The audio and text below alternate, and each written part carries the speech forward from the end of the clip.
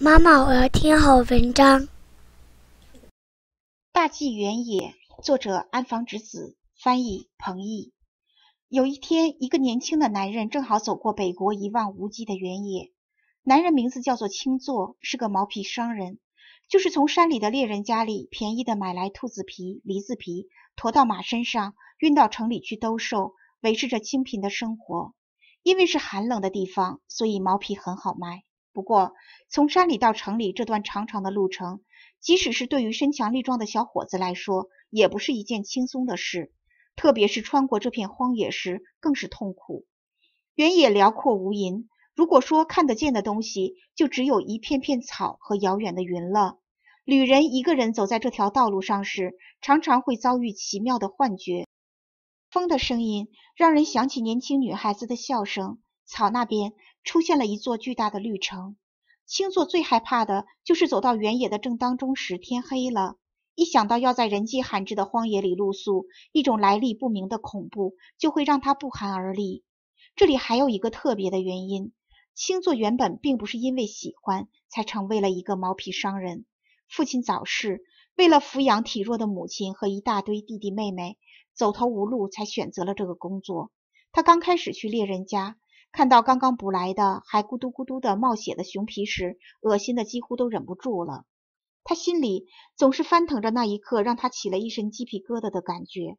他总是害怕，万一自己牵着驮着山一样高的毛皮的马，还没走到城里，天就黑了。那些买来的兔子皮、梨子皮和狐狸皮突然就喘过气来了，发出了可怕的叫声，怎么办？同样是皮货生意，如果是做皮革手工艺，就要快乐的多了，他总是这样想。青作的一双手很巧，高兴起来就常常会用多下来的鹿皮做个钱包、香烟袋或拖鞋什么的。于是他就会想，要是这些东西能卖出一个好价钱，能维持得了生活的话，那就再轻松不过了。好了，这里是北方短暂的夏天快要结束时的故事。青作这天也牵着瘦马，有气无力地朝着城里走去。太阳在遥远的黑森林那边明晃晃地燃烧着。这天与往日不同，星座的心扑通扑通地跳个不停。那是因为皮毛货里头有一张过去从未看见过的银狐的皮，它看上去能卖个大价钱。他琢磨着用卖他的钱给母亲买药，给妹妹们买和服，再用剩下的钱去吃点什么好吃的东西。这么一想，就又觉得毛皮生意也未必就那么坏。他把过去的那种恶心的感觉给忘到了脑后。照这个样子下去，要是能采购到十张银狐皮，就发大财了。青座这样自言自语着，那样的话也不用牵着这样的瘦马做这样的生意了。他停下来擦了一把汗，于是马也呼哧呼哧地喘着粗气。今天是一个口渴的特别厉害的日子，带来的水壶早就空了。青座突然记起来，这一带有一口古井。旅人经常在那里歇息。究竟是谁在这样的一片荒野的正当中挖了这样一口井呢？井深的可怕，水又清又凉，好像能把手割破似的。在那里歇一会儿吧。青座牵着马朝井的方向走去。井在一棵大榆树的下面。可是这天，当青座好不容易才走到榆树下面时，发现石头老井的边上坐着一个感觉奇妙的小女孩。青座吃了一惊。不由得僵立在那里了。你好，青座。因为女孩冷不防这样喊起来，青座一下子愣住了，连话都说不出来了。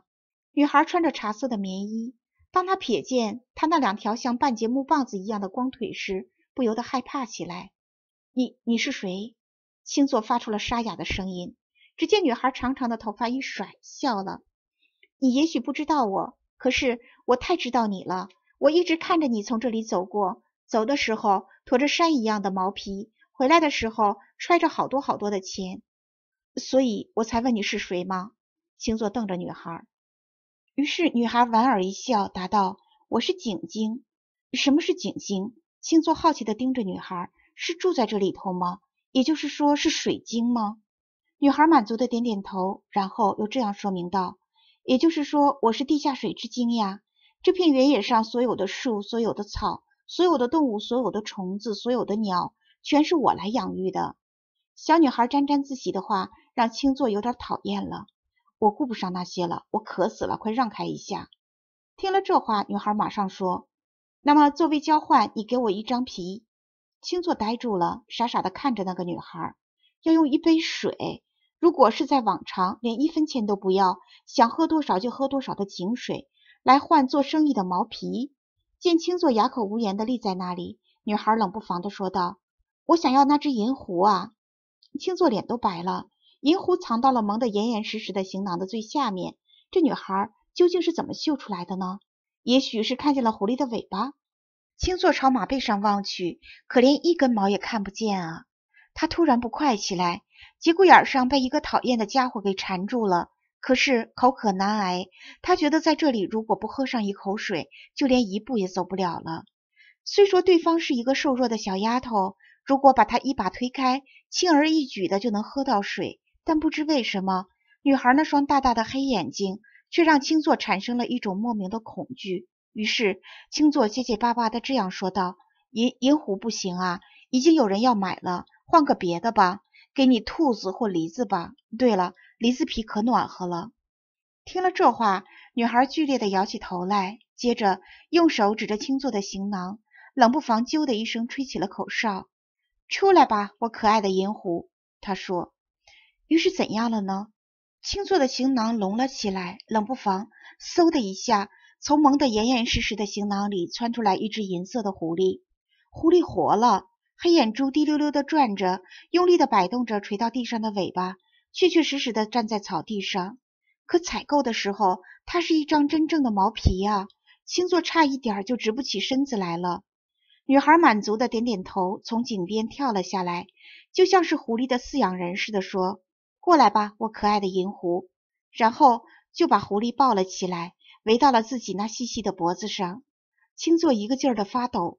一直害怕的事情现在发生了，一张空毛皮竟然又喘气了，又动起来了。说不定这个小女孩会用相同的魔法，让自己行囊里的东西一个接一个的逃走。星座连口渴也忘记了，拽着马想趁早离开这里。可女孩却这样说道：“星座啊，你不适合干这行生意，干点别的活不好吗？别的活？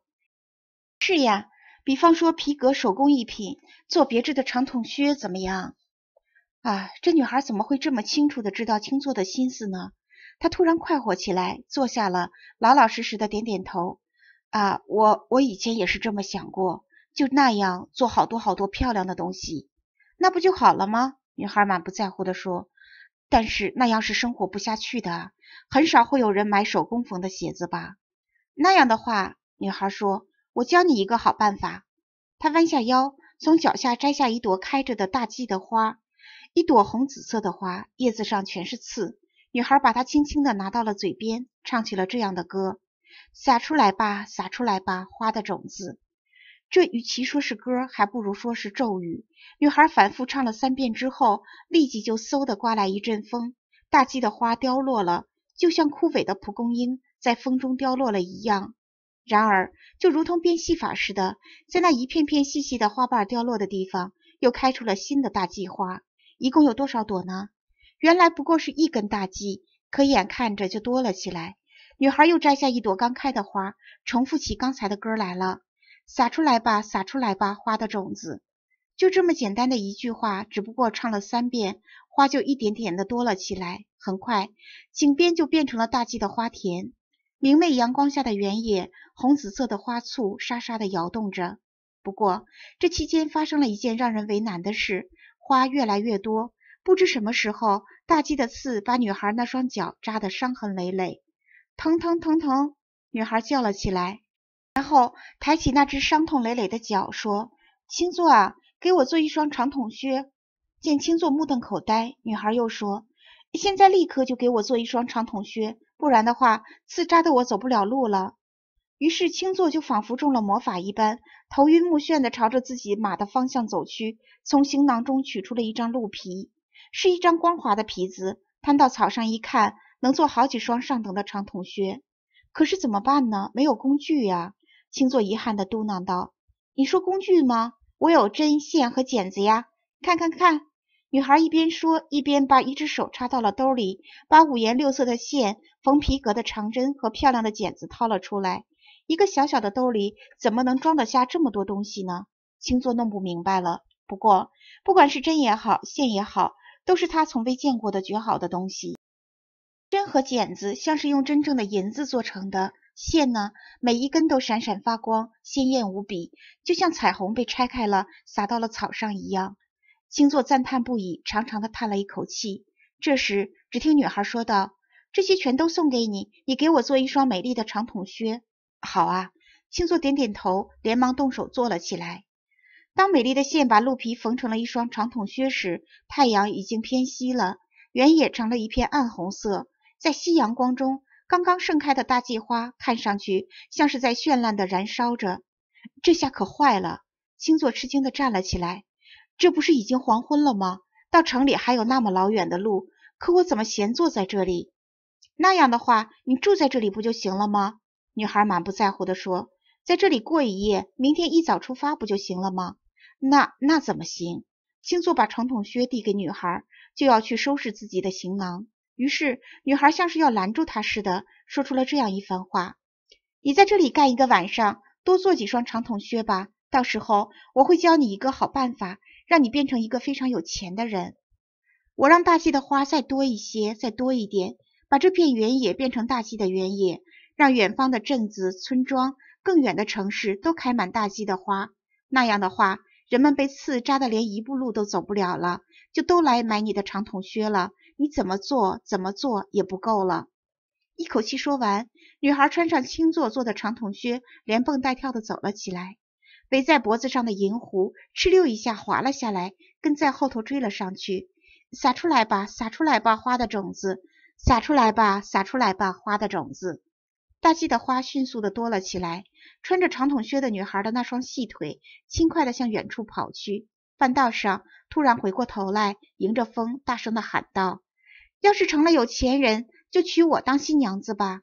盖了大房子就来接我吧！用漂亮的马来接我吧！”然后裙子一飘，渐渐的远去了。撒出来吧，撒出来吧，花的种子。只剩下歌声还回荡在原野上。银狐像个白球似的闪着光，跟在女孩的后头追了上去。还有这种人，青座重重的叹了口气。不过这时他在心里已经决定了，今天晚上就按这孩子说的，在这里干活吧，用一张鹿皮尽可能多做几双长筒靴吧。这天夜里，沐浴着皎洁的月光，青座足足做了有十双长筒靴。天亮的时候，他把留给自己的一双穿到了脚上，其余的九双往马上一驮，朝着镇子出发了。朝着镇子那大街上熙熙攘攘、人声鼎沸的镇子的方向。不过，在原野上越往前走，青座越来越吃惊。原野上是一望无际的大鸡的花，怎么走，怎么走。都是开得绚丽烂漫的红紫色的花，在风中摇曳。连那条迄今为止一直在那里的羊肠小道，也被大吉的花给埋住了，找不到了。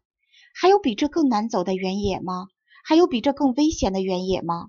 侧耳倾听，这回是花儿们自己唱起了歌：撒出来吧，撒出来吧，花的种子；撒出来吧，撒出来吧，花的种子。和那女孩一样的调子。而且是像针一样尖锐高亢的歌声，大气的花儿们一边在风中摇曳，一边好像是自己在迅速的增多似的。那势头太凶猛了，不过是一个晚上，就成了一望无际的刺人的原野了。而且越是往前走，大气越高，叶子越大，草丛也更加深了。不知从什么时候起，青作要扒开草才能前进了，就快要到镇上了吧。不，从里程上来看，应该已经走到镇子的中央了。这时，前头的草沙沙的摇晃起来。青作的耳朵里听到这样一个声音：“脚疼的走不了了。”青作，卖给我一双长筒靴吧。青作一怔，站住了，眼前跳出一只梨子，用小小的黑眼睛仰望着青座。那一刹那，他吓坏了，因为这只梨子的背上有个枪眼儿，是一个黑乎乎的旧伤疤。而且那张脸和那身皮毛，他觉得特别眼熟。是的，绝对是的，这是我刚开始干这一行生意时卖给镇子上那家最大的毛皮店的梨子。青座想和这只梨子搭话，可舌头不听使唤，发不出声音了。于是梨子又说了一遍：“卖给我一双长筒靴。”说完，从嘴里掉下来一块银币，银币咕噜噜的滚到了青座的脚下。脸色苍白的青座从行囊里取出一双新的长筒靴，给了梨子。梨子把它们穿到后腿上，摇摇尾巴，就消失在草丛中了。青座突然害怕起来，一种来历不明的恐惧从脚下哆哆嗦嗦地爬了上来。他哪有心思去捡什么银币？才一个晚上，这不可思议的大计划就把原野、镇子、村庄、房子和人都给埋了起来。而且，也许现在这里还活着的，只有起死回生的毛皮们了吧？就在这时，像沸腾的回声似的，从大气的花丛里响起了一个又一个的声音。卖给我一双长筒靴，青座。卖给我一双长筒靴，卖给我。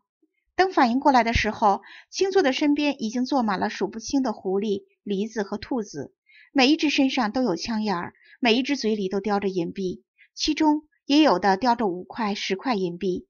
他们把银币噼噼啪啪的丢到了青座的前头，缠住他要长筒靴。青座不顾一切的把长筒靴从马上卸下来，分给了动物们。但是只有八双长筒靴，立刻就没有了。星座尖声叫了起来：“已经没有了，长筒靴已经没有了。”然后他骑到了马上，马背上不知什么时候已经空空荡荡了，和长筒靴一起驮在上头的狐狸皮呀、梨子皮呀，全都不见了。星座抽了马一鞭子，没命的穿过一望无际的大纪原野，朝着大山，朝着自己家的方向。风呼呼地朝耳朵后面吹去。奇怪的是，这时马的蹄子几乎就没有贴到地上，而是像长上了翅膀一样在天上飞翔。然后等清醒过来，星座已经回到山里自己的家里了。这时，星座的那张脸苍白的吓人，三天都没有直起腰来。从那以后，他辞去了毛皮生意，他一生都珍藏着那一双仅剩下来的长筒靴，缝得密密麻麻的彩色的线。永远是那么鲜艳，永远都不褪色。